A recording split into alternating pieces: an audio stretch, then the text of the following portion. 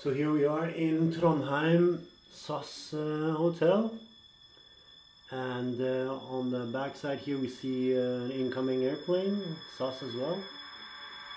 Enjoy the 8K.